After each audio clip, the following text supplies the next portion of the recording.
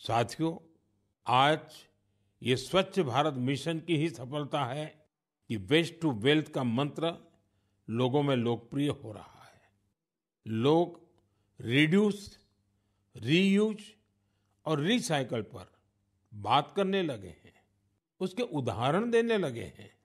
अब जैसे मुझे केरला में कोझिकोड में एक शानदार प्रयास के बारे में पता चला। यहाँ 74 ईयर के सुब्रमण्यम जी तेईस हज़ार से अधिक कुर्सियों की मरम्मत करके उन्हें दोबारा काम लायक बना चुके हैं।